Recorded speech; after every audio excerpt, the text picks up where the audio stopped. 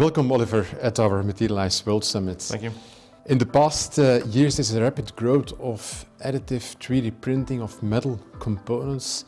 It's a trend which we also support at Materialise. As a company having almost two decades of experience in metal 3D printing, how do you see this evolution in the coming years?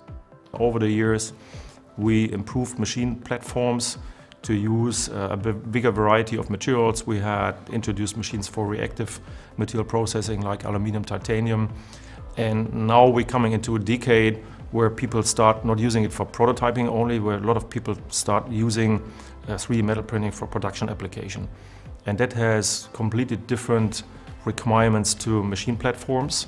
So we have to move as a company into creating solutions which are more industrialized, more automated, to really address the production requirements of customers. And that has a, is a different uh, ball game versus a standalone prototyping use machine. And what are, according to you, the big challenges in this um, move towards more production? Is it speed or, or is it integration in complete production lines, more the traditional production lines? I think it's both. Is speed, is productivity because productivity drives the cost down and cost down uh, or cost target is, uh, depending on what kind of industry you talk to, uh, a significant uh, hot button.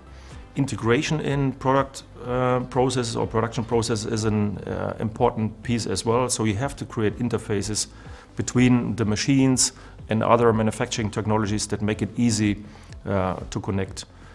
plus, when we see customers using machines, um, there's a lot of operator influence still for the machine. So we also have to move into creating more artificial intelligence into the machines, processes, software, prediction of residual stress in the machines to really uh, make it less operator dependent than what it is today. Now at Materialise we, we experience that this is an important element if you want to produce or get the maximum out of a machine having access to the parameters is really an, an, added value. But how do you see that opening of parameters to your customers? We always had a pretty open parameter structure, but we had a change in the hardware of the machines. We moved from what we call 2D uh, laser scanners to a version which is 3D laser scanners. So with 3D laser scanners you have much more capability and opportunities to change various parameters.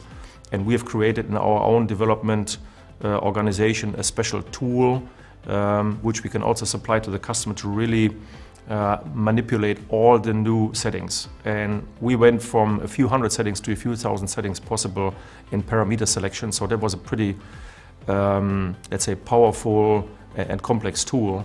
And depending on the customer base, I think we have a lot of customers which do plug and play. That they're not too much interested in playing with all the parameters. They want a solution where they can just print the knob and get a perfect part out. But we have customers especially in the medical and aviation field, which need a uh, validation process. So they need to really understand all the, um, let's say, dependencies between parameters, process-related stuff, and they need to also to document it for an SFDA or for an FAA uh, organization. So for those customers, we have that particular tool which opens the whole infrastructure so they can play with everything we play with in our uh, R&D department too. Concept Laser and Materialise are now uh, on the in the development of a build processor uh, to connect mm -hmm. your uh, printers uh, through the build processor, which yes. is kind of a de facto uh, standard.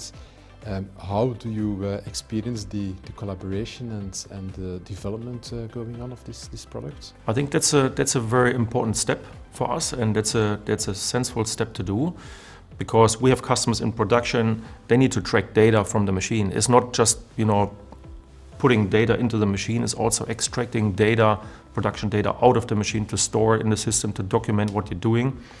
And I think the uh, build processor is a logic step to really have an interface which is a bidirectional thing. So uh, talking about Streamics, for example, which is an interesting Materialise product, I think we, we need to extract data, production data out of the machine uh, uh, through Streamics and then store it for the relevant products which we do. In the medical, we have to save uh, 75 years data for an implant which is produced. So we have to get production data out of the machine and that's a very good combination of tools uh, with the build processor. Thank you very much. Thank you very much.